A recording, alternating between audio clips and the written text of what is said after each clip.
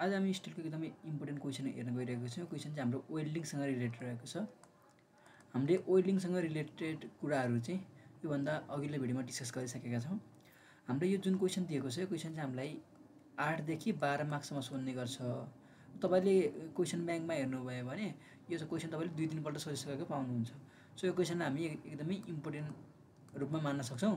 र यो क्वेसनमा हामीले यदि वेल्डिङको कन्सेप्ट ल्यायौँ भने हामीले च्याप्टर थ्री च्याप्टर फोरमा पनि अरू क्वेसन सल्भ गर्नु चाहिँ यसले हेल्प हुन्छ। सो यो भिडियो चाहिँ एकदम अलि ध्यान दिएर हेर्नु होला। क्वेसन छ a tie in a truss? Tie भन्ने अर्थले सिम्पली हाम्रो के जनाउँछ भने टेन्सन भन्ने जनाउँछ टाई भन्न तपाईँले टेन्सन भन्ने बुझ्नु होला। र स्ट्रट भन्यो होइन स्ट्रट भन्यो भने हामी यसलाई चाहिँ कम्प्रेसन भनेर बुझ्छौँ। यसको बारेमा हामी पछि डिस्कस गरिनेछौँ। हाम्रो च्याप्टर थ्री भनेको टेन्सनसँग रिलेटेड रहेको छ र च्याप्टर फोर भनेको हाम्रो कम्प्रेसनसँग रिलेटेड रहेको छ। होइन? सो हामी टाई र स्ट्रटहरूको बारेमा फर्दर भिडियोमा डिस्कस गर्ने छौँ। अहिले क्वेसन सिम्पली सल्भ गरौँ। A tie in a truss consist of pair of angle ISA ninety by sixty by ten दियो होइन? आइएसए त्यो दियो हामीलाई ninety by sixty by ten दियो। यो नाइन्टी भनेको यसको यो पार्ट भयो यो पार्ट भयो यसलाई मैले अहिले हाइट भनिदिएँ होइन? अनि यो सिक्सटी भनेको हाम्रो यो तलपट्टिको यो पार्ट भयो। होइन यसलाई मैले ब्रेथ भनिदिएँ। र हाम्रो यो टेन भनेको यो थिकनेस भयो। होइन यसलाई मैले थिकनेस टी भनिदिएँ। हामीलाई हाइट पनि दियो ब्रेथ पनि दियो र थिकनेस पनि दियो। होइन सो आइएसए कति हामीलाई? Ninety by sixty by ten दियो। अब यहाँ हामीले बुझ्नुपर्ने कुरा हामीले यदि हामीले यदि कोड हेऱ्यौँ भने हामीले कोडमा हेऱ्यौँ भने अहिले पछि म तपाईँलाई कोड पनि देखाउने छु सो कोडमा तपाईँले इक्वेल एङ्गल र unequal angle unequal angle rolled steel rolled steel भनेर हुन्छ हाम्रो रोल्ड स्टिल इक्वेल एङ्गल होइन? र रोल्ड स्टिल अनइक्वेल एङ्गल भनेर हाम्रो छुट्टै छुट्टै टेबल रहेको छ। र यसको लागि हाम्रो छुट्टै छुट्टै भ्यालुहरू पनि रहेको छ। अब इक्वेल एङ्गल र अनइक्वेल एङ्गल हामीले सिम्पली कसरी छुट्याउने भने यदि हाम्रो हाइट र ब्रेथ चाहिँ बराबर छ भने यो भनेको हाम्रो इक्वेल एङ्गल भयो। इक्वेल एङ्गल र हाम्रो हाइट र ब्रेथ बराबर छैन भने यो भनेको हाम्रो के भयो? अनइक्वेल एङ्गल भयो। सो सिम्पली हामीले इक्वेल र अनइक्वेल एङ्गलको टेबल कसरी हेर्ने भन्दाखेरि हामीलाई क्वेसनमा अहिले के दियो? नाइन्टी बाई सिक्सटी दियो। भनेपछि हाम्रो हाइट भनेको नाइन्टी दियो बी भनेको हामीलाई सिक्सटी दियो। सो नाइन्टी र सिक्सटी त हाम्रो इक्वल छैन भनेको हाम्रो हाइट र ब्रेथ चाहिँ इक्वल छैन। सो हामीले के गर्नु पऱ्यो अनइक्वेल एङ्गलको चाहिँ हामीले के गर्नु पऱ्यो टेबल चाहिँ हेर्नु पऱ्यो यदि हामीलाई sixty by sixty by ten दिए भए आइएसए हामीले के हेर्थ्यौँ? इक्वेल एङ्गलको चाहिँ हामी के हेर्थ्यौँ? टेबल चाहिँ हेर्थ्यौँ। सो यसरी हामी इक्वेल र अनइक्वेल एङ्गलको इक्वेल र अनइक्वेल एङ्गल चाहिँ छुट्याउने गर्छौँ। सिम्पली हाइट र ब्रेथको कुरा भयो। अब हामी क्वेसन हेरौँ। Welded on either side of the gusset plate भन्यो। गसेट प्लेट्सको थिकनेस भनेको हाम्रो कति दियो बाह्र एमएम दियो। Through longer leg design the weld joint if stress in a angle and fillet weld are कति भन्यो हामीलाई? एक सय पचास एमपी एन्ड कति हामीलाई? एक सय आठ एमपी दियो। हामीलाई स्ट्रेस इन एङ्गल दियो। Stress in angle stress in angle भनेको हाम्रो टाई मेम्बर देखायो। सो हामीलाई क्वेसनमा नदिए पनि अहिले हाम्रो क्वेसनमा एक सय पचास एमपी दियो। होइन? र हामीलाई के दियो? फिलेट ओइलको स्ट्रेन्थ भनेको कति दियो? फिलेट ओइलको स्ट्रेस भनेको हामीलाई कति दियो? एक सय आठ एमपिए दियो। होइन? यो क्वेसनमा नदिए पनि वा दिए पनि जे भए पनि यसको भ्यालु भनेको हाम्रो पर्मिसिबल पर्मिसिबल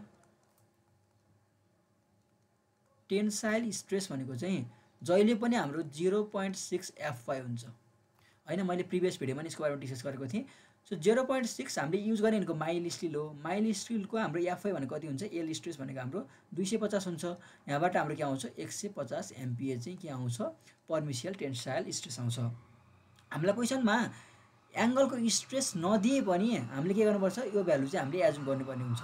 र हाम्रो ओइलको स्ट्रेस भनेको चाहिँ हाम्रो के हुन्छ? पर्मिसिबल स्ट्रेस भनेको चाहिँ एक सय आठ एमपिए हुन्छ। यो पनि हामीलाई क्वेसनमा दिएन भने चाहिँ हामीले यही भ्यालु चाहिँ एजुम गरेर चाहिँ गर्नुपर्ने हुन्छ। हामीलाई यो तलपट्टि दिइरहेको छ नि designed weld joint if stress हो हाम्रो if stress in angle and fillet weld भनेर क्वेसनमा नदिएको पनि हुन्छ। प्रायः क्वेसनमा हाम्रो दिएकै हुँदैन। हामीले चाहिँ के गर्नुपर्छ? यति भ्यालु चाहिँ हामीले एजुम गर्नुपर्छ। एक सय पचास र एक सय आठ एमपिए चाहिँ एजुम गर्नुपर्ने हुन्छ। सो तपाईँको पिएको भ्यालु भनेको एक सय आठ एमपिए तपाईँलाई याद हुनै पऱ्यो यो।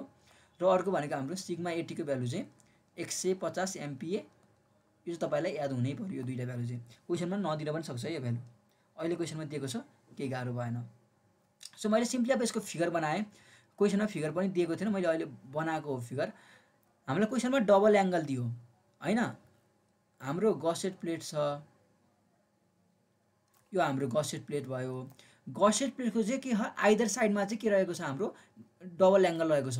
भनेपछि आइदर साइड भनेपछि एका एकातिर यतातिर एउटा प्लेट भयो अनि अर्को भनेको कता भयो हाम्रो? यतातिर अर्को प्लेट भयो। होइन? अब यसको हाम्रो यो हाइट भनेको नब्बे दिएको छ। यो भनेको हाम्रो कति देखा साठी दिएको छ। र यसको थिकनेस भनेको हाम्रो कति देखा टेन एमएम चाहिँ दिएको छ। अब अनि हाम्रो के भनेको छ क्वेसनमा? गसेट प्लेसको थिकनेस पनि दिएको छ। गसेट प्लेसको थिकनेस भनेको हाम्रो कति देखा? बाह्र एमएम चाहिँ दिइरहेको छ क्वेसनमा। अब हामीलाई क्वेसनले के भन्यो भने डिजाइन ओइल भन्यो। हामीले चाहिँ ओइलिङ कति गर्नुपर्छ भनेर डिजाइन गर भनेको छ।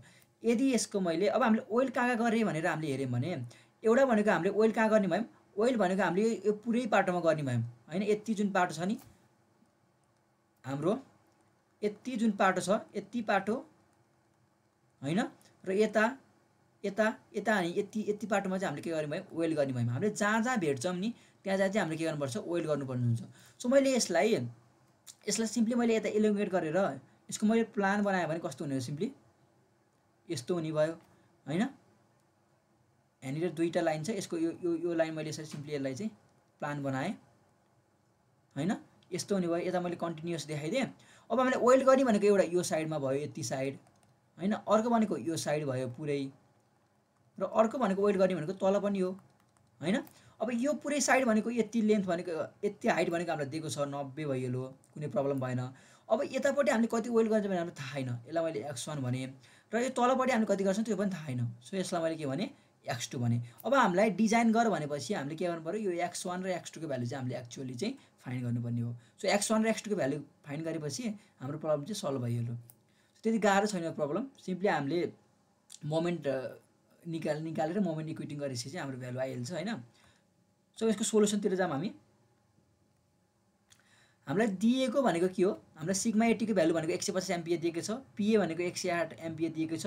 अब हामीले कोडबाट के निकाल्छौँ? ए निकाल्छौँ। कोडबाट हामीलाई आइएसए के भनेको छ? ISA ninety by sixty by ten एमएमको angle दिएको छ।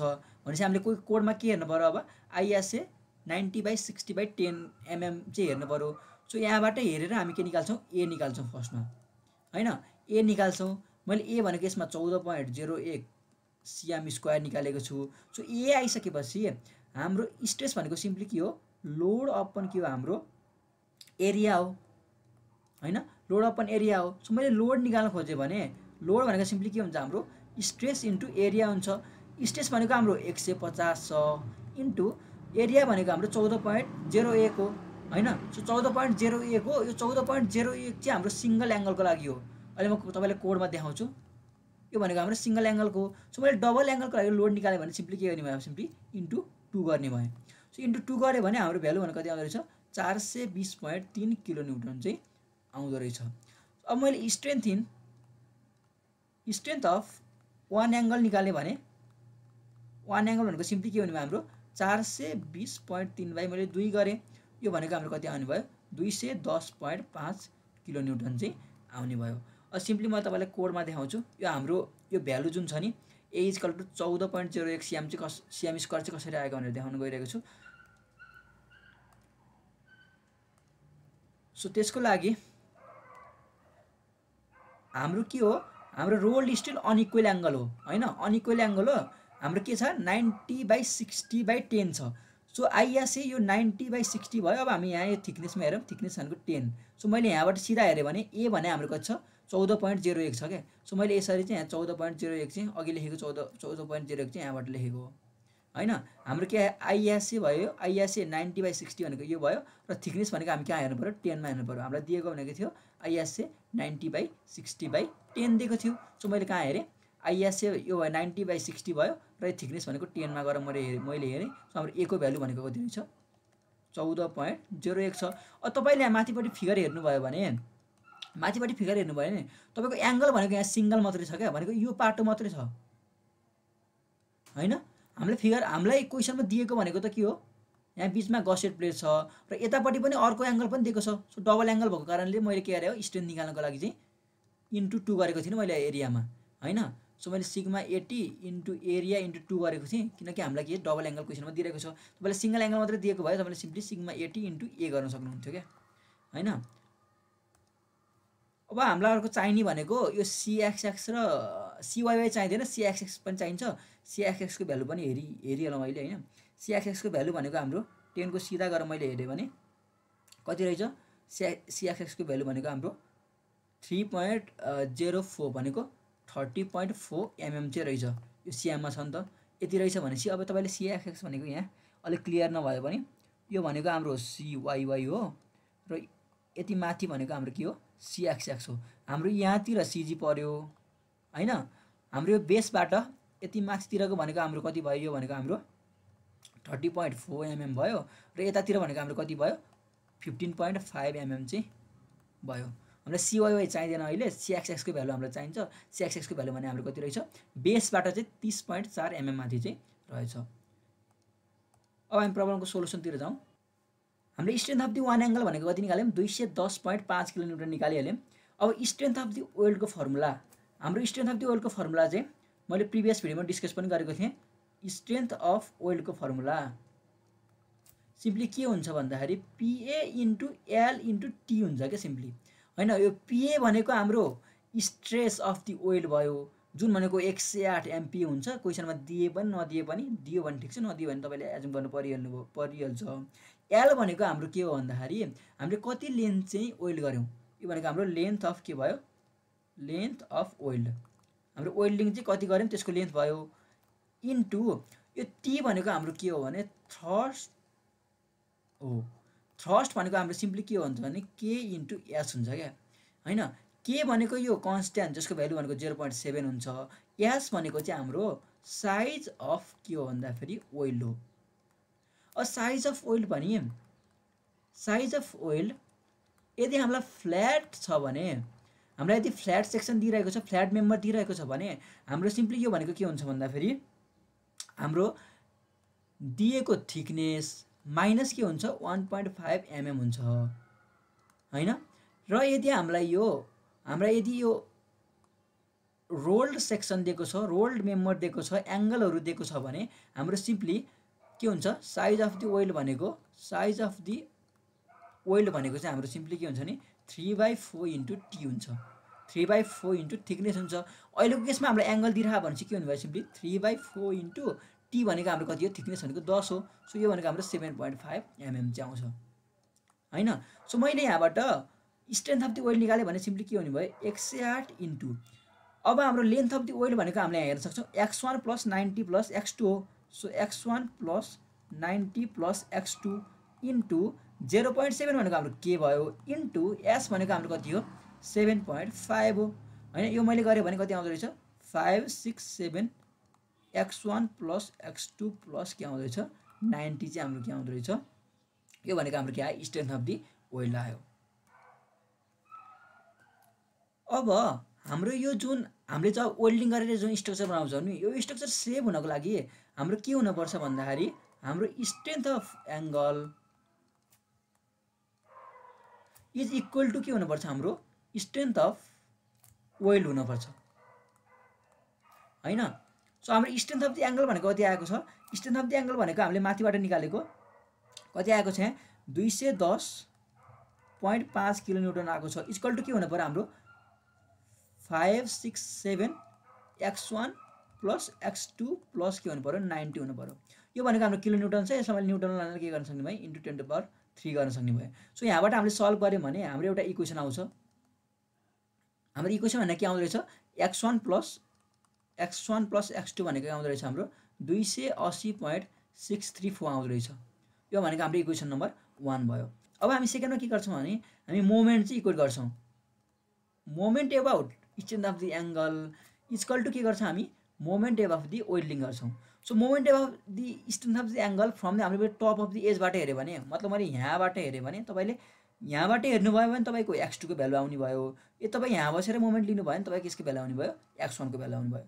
फर्स्टमा मैले एङ्गलमा हेरेँ भने एङ्गलको लागि स्ट्रेन्थ भनेको हामीले अघि निकालिसकेको छौँ। जुन भनेको हाम्रो कति हो? दुई सय दस पोइन्ट कति हाम्रो? एक पाँच हो। होइन? Into ten to the power three छँदैछ। इन्टु अब पर्पेन्डिकुलर डिस्टेन्सहरू सिम्पली के हो? हामीले अघि मैले हेरेको थिएँ यहाँ बेसबाट चाहिँ यसको सिसम्म डिस्टेन्स हाम्रो कति छ? Three point zero four cm चाहिँ छ। र ओभरअल यो पुरै भनेको हाम्रो कति हो? यो भनेको हाम्रो नाइन्टी एमएम हो। होइन? यति भनेको हाम्रो कति छ? थर्टी पोइन्ट फोर सिया सरी एमएम छ। र बाँकी हाम्रो टपबाट हेऱ्यौँ भने टपबाट हेऱ्यो भने सिजी भनेको कति पर्दो रहेछ? Ninety minus thirty point four यो भनेको हाम्रो फिफ्टी नाइन पोइन्ट सिक्स एमएममा चाहिँ हाम्रो के पर्दो रहेछ? सिजी पर्दो रहेछ। सो मैले यसको सिजीले गुणन गरेँ भने के हुनुभयो? Fifty nine point six is equal to. यति गरिसकेपछि अब हामी जाउँ वेल्डिङतिर। Moment of welding about top एजबाट हामी लिइराखौँ। सो टप एजबाट मैले लिइरहँदाखेरि लिइरहँदाखेरि अब मोमेन्ट दिने भनेको एउटा यो वेल्डिङलाई दिने भयो। अर्को भनेको के दिने भयो यो पाटोको वेल्डिङलाई दिने भयो यो पाटोको वेल्डिङको हामीले स्ट्रेन्थ भनेको सिम्पली के हुन्छ? पी भनेको एक सय आठ इन्टु एल भनेको यसको लागि कति हो? नब्बे मात्रै हो। इन्टु जेरो पोइन्ट सेभेन भनेको के? इन्टु एस भनेको हाम्रो कति हो? सेभेन पोइन्ट फाइभ हो। इन्टु पर्पल डिस्टेन्स कति हो? सो हामी यहाँ बसेर हेरिरहेको छौँ भनेपछि सो यसको लोड भनेको कसरी लागिरहेको छ? यसरी लागिरहेको छ। सो यसको सिजीको सिजीसम्मको डिस्टेन्स भनेको कति हुनु हाम्रो? नाइन्टी बाई टू हुने भयो।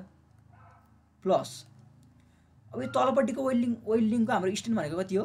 एक सय आठ इन्टु लेन्थ भनेको X two into zero point seven into seven point five भयो। इन्टु पर्पल डिस्टेन्सको के हो? हामी यहाँ बसेर यहाँ तलपट्टि यहाँ माथिबाट हेरेर भनेपछि यसको लागि पर्पल डिस्टेन्सको कति हो? यो पुरै नाइन्टी हो नि त। सो हाम्रो के हुने भयो? इन्टु नाइन्टी हुने भयो। अब हामीले इक्वेट गऱ्यौँ भने हाम्रो यहाँबाट केसको भ्यालु आउने भयो? एक्स टूको भ्यालु आउने भयो। सो हामीले यहाँ सल्भ गर्दाखेरि एक्स टूको भ्यालु भने कति आउँदो रहेछ? Two hundred point four four mm चाहिँ आउँदो रहेछ। सो एक्स टूको भ्यालु हामीले यसरी निकालिसकेपछि हामीले सिम्पली अब के गर्न सक्ने भयौँ? इक्वेसन नम्बर वानमा लगेर चाहिँ एक्स टूको भ्यालु पुट गर्न सक्ने भयौँ। सो एक्स टूको भ्यालु मैले इक्वेसन नम्बर वानमा पुट गरेँ भने मेरो एक्स वानको भ्यालु पनि आउने भयो। मैले यसरी पुट गर्दाखेरि एक्स वानको भ्यालु भने कति आउँदो रहेछ? Eighty point one nine four mm चाहिँ आउँदो रहेछ। सो हामी यसरी चाहिँ क्वेसन चाहिँ के गर्छौँ? सल्भ गर्छौँ। आजको लागि यति नै। अर्को भिडियोमा हामी अर्को इम्पोर्टेन्ट क्वेसनहरू लिएर आउनेछौँ स्टिलको so see in next video